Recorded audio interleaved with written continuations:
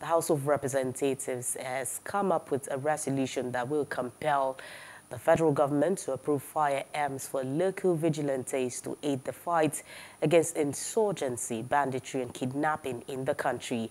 The resolution, amongst others, followed a motion of urgent national importance on the sorry state of insecurity in the country, especially the recent adoption of a traditional ruler in Plateau State.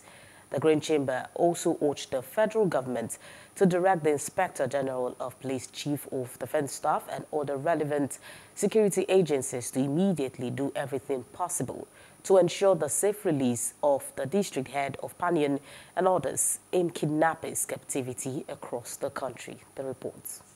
Insecurity has become an everyday occurrence in the country as no day passes without news of one kidnapping or the other. The recent adoption of a traditional ruler by armed bandit in Plateau State seems to have triggered wild condemnation by federal lawmakers in the Green Chamber. Solomon Maren brought the motion on the kidnapping of the traditional ruler from Plateau, His Royal Highness Aminu Darwan, by heavily armed bandits who were shooting indiscriminately in the early hours of Monday.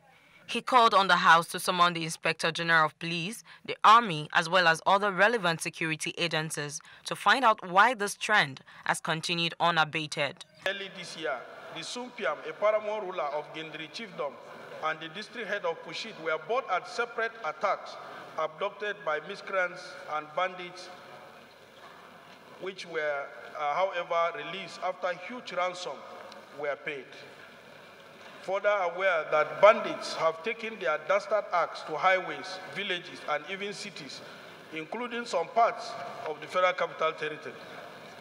Concerned that the spread of kidnapping, abductions, and attacks has been systematic, well coordinated, and targeted across the constituency, the state, and indeed the country, which is alarming and of grave concern.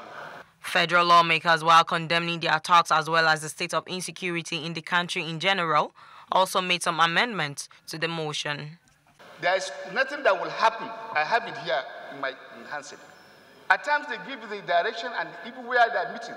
But it's the implementing agency. We, we, even if you are going to recruit entire villages now and give them this light arm, arms, somebody carrying an arm, uh, a, a, gun that can discharge 100 bullets in, in, in one round, how will, how will he face him? AK-47.